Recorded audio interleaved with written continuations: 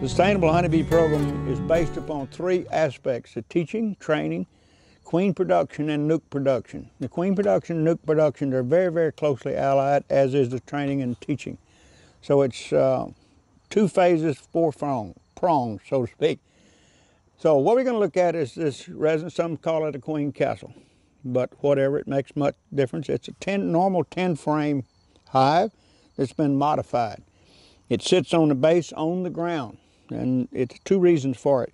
The chamber between the base of the chamber here and the ground is eight inches, which we found through experience is the best for the bees as well as for maintaining a good healthy colony. You want to get it as far away from the wet as you can, but if you put it up on a high area, for example, to fit a tall person so they could stand and work the hive, which is nice, but as you notice that we use most of our queen and nuc production we do in a sitting profile because we want all of our pheromones low to the ground.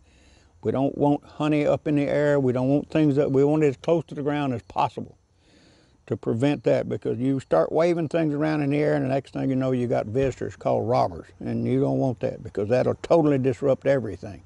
What we've got is our outer cover which has a thermal barrier uh, it's R13 or 19, depending on the calculation. It stops the transmission of heat or cold up or down, slows it, doesn't stop it. So it's just one of those things to help out is best. The bees then can regulate their temperature and their circulation a lot easier inside. This is a ventilation shim. It's also a feeder shim. It works both ways. It has very, very fine screen here, as does the lower of the stand so that the air that goes through here won't allow the beetle to go through here. The only way a beetle can get in here, provided everything else is firm, is through the main entry, which they oftentimes can defend to a greater extent. A good healthy colony of bees can keep most of the bee beetles out, even if they decide to attack them. And it's uh, basically an oversized nuc, so it's not going to be considered a robust colony, and therefore a beetle might find it appetizing. The feeder we use is made by Thorne in the UK. Uh, some people call it a bundt pan or a donut feeder. It had an inner cover, which the bees come up through the inner cover from the entry here, and they're never exposed to the ambient air. They're always, whatever the atmosphere is inside is also in there. This adds to that insulation, liquid to the outside. So on this side, the near side, which is the sun up side, the wind from my direction this way and the sun is where I'm sitting. The queens generally like to go to the sun up side. So we take our inner cover over, we lay it to the side. Normally we'll have our drape, which at that point goes here and it stays on for half a minute or so to calm everything down because when you took that top off, you suddenly changed everything in there. So oftentimes we tell people when you take a cover, inner cover off, you raise it just a fraction of an inch, you hold it there for a few seconds, then you slowly move it away. You never jerk the top off. When you do, you shock everything in there, and that's when people get in trouble. Keep them calm. Stress is one of our worst enemies. So anyway, what we've got here, and we've labeled these so you can see basically how this works. There's a thing here that's called a target, and it's based on a Friday system. And the way this came about is we are all volunteers, and most of us are full-time employed, and we have to have a system at work. The normal commercial beekeeper works on a three-day cycle. We work on a seven-day cycle. So that's why everything in our little operation starts on Friday. Every Friday this is done between the time I get to the field about nine o'clock and most of the time and up until about noon. That's all this is done and we go through about five to six queens every Friday, set up our starters on a Friday. So there's a lot of work goes on Friday that's not readily seen by most people. When we say target, we mean it's fully drawn and it's a dry comb. And we're hoping that she will lay on this particular frame after they clean it Friday night and get everything polished about 9 to 2 on Friday, on Saturday, up to dark on Saturday. meaning that the larvae are going to be the correct age to transfer the following Wednesday, about the same amount of time. So that's why it's all based, and it has worked for us very successfully now for several years.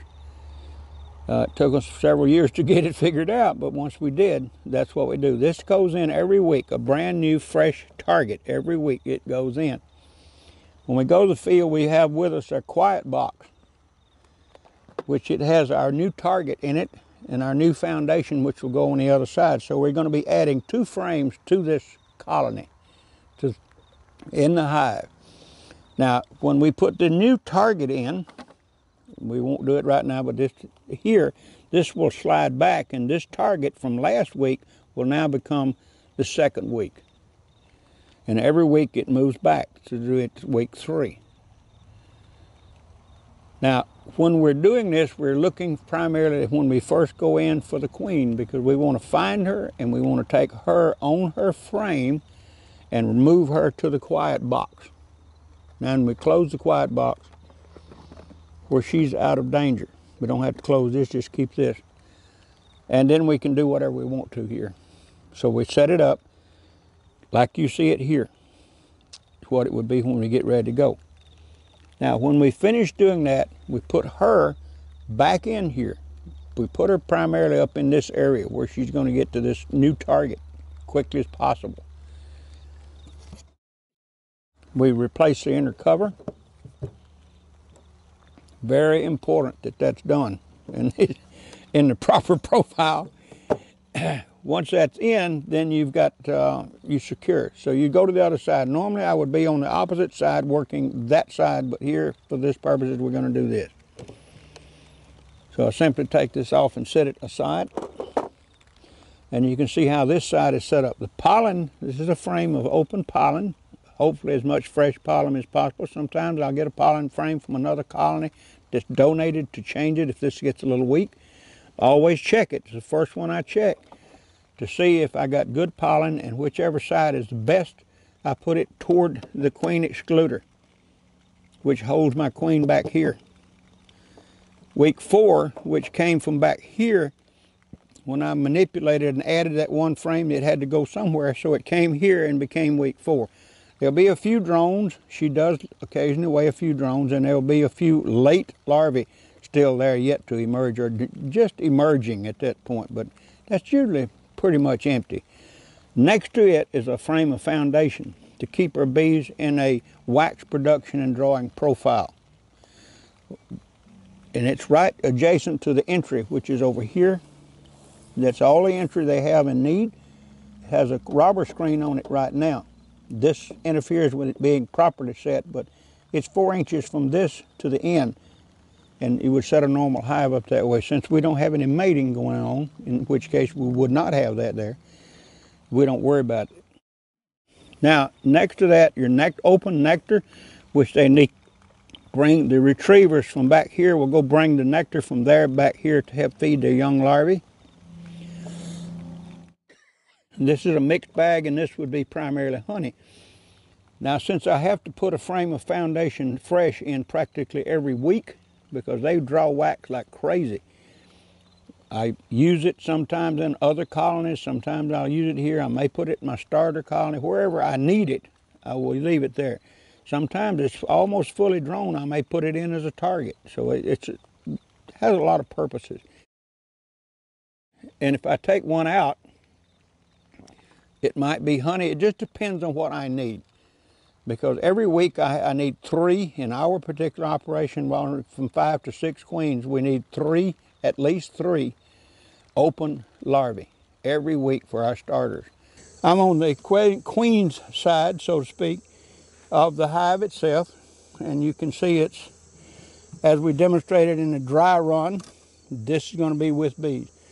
Now, I'm going to show you how I'm going to lay it out. So my quiet box, which is I work, is on my side, left side, and in the quiet box. When I came to the field, I brought what I'm going to need to go into this hive with. One would be what we call a target, which is a frame of fully drawn, dry, that we will put on the queen's side so that she can hopefully lay in it. The other is foundation. A foundation is done, or if you don't use foundation, a starter strip or a starter wood, whatever, because the bees need to be kept in a production profile while you're queen rearing.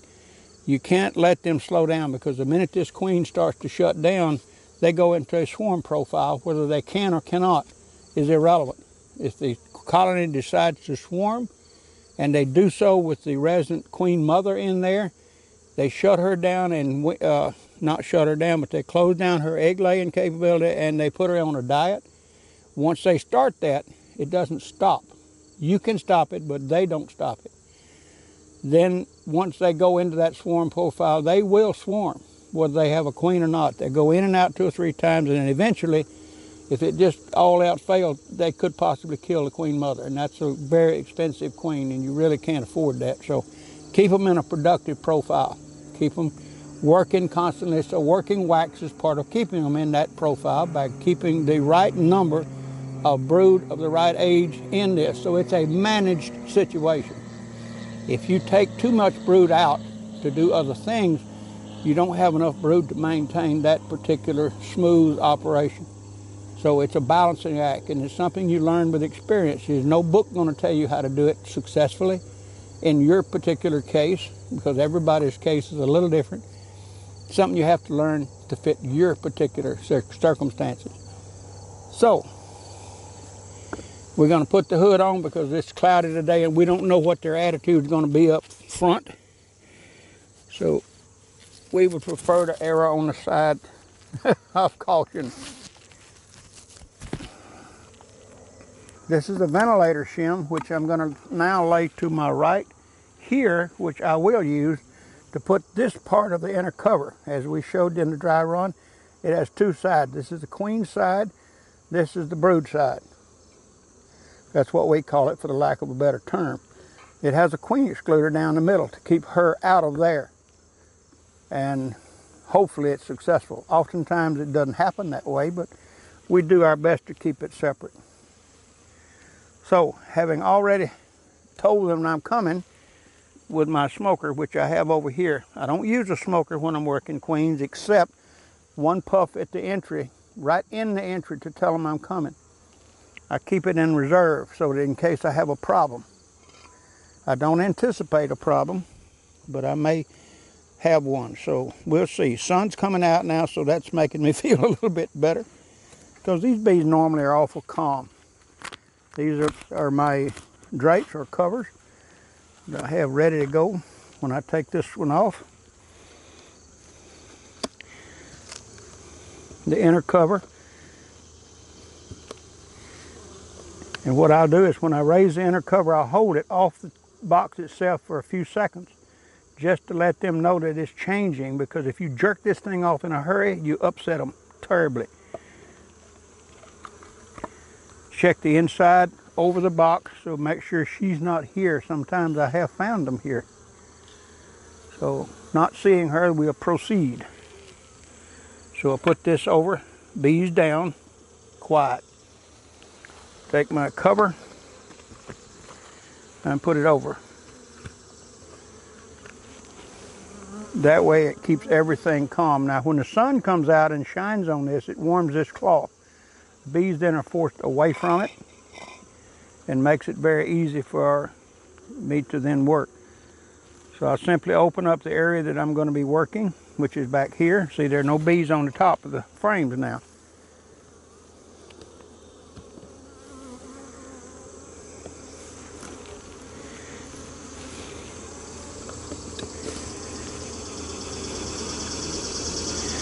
Very slowly and very quietly raise this frame of brood. As you can see, it's a massive medium frame, wall to wall. So we have maintained, this is the end of the season, and we have maintained this queen in productive profile ever since the early part of the season after the initial testing was done. So I'll very quietly close this curtain or cloth, and the bees are getting a little testy. So, See if we can see Mama.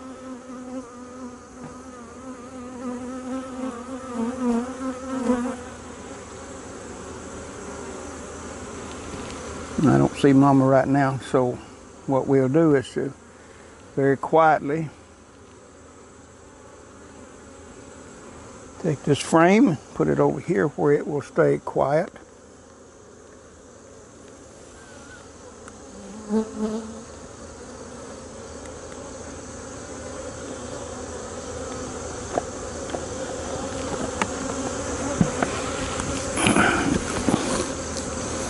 Sliding down the hill. so now we'll go back in and roll this back, exposing the next. They don't particularly care for us. We were not in this hive last week because we were already going into a winter closed shutdown. So we didn't go in them. And when you don't go in every week, they get used to having no one messing with them, so to speak. So they get a little antsy when you start in. We can see a lot of younger brood. A little small patch of older brood in the middle. Same thing on this side.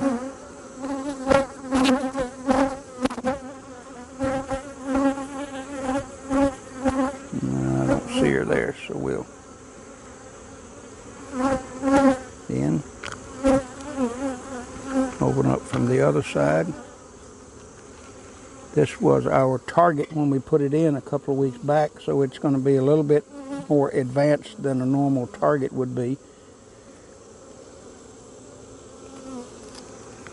And you see me being very careful not to touch that queen excluder. For one little rod and that queen excluder gets bent and she's away, out.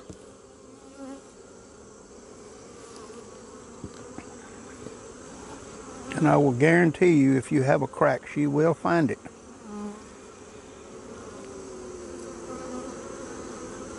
another completely full frame.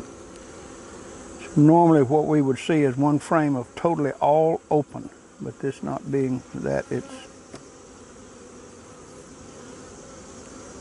see her yet.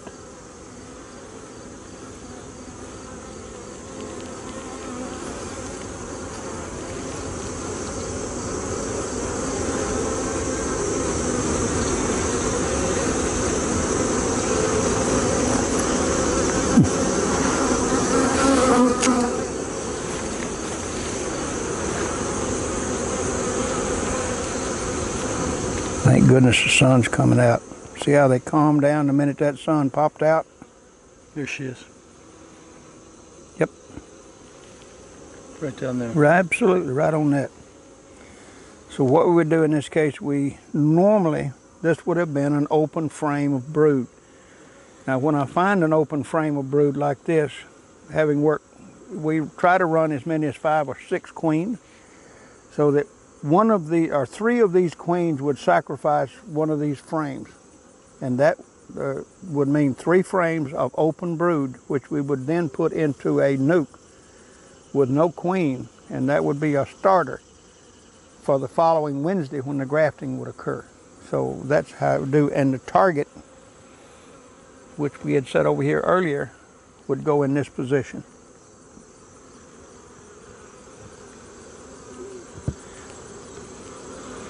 Now under normal circumstances, what we had put in the box over here, the quiet box, was a third, the third week. In other words, this is a three week old brood over here, which means that they're beginning to get to the point to will be emerging in a few days and they would then be moved. So at this point, we would close this side up and we would prepare to go to the other side. So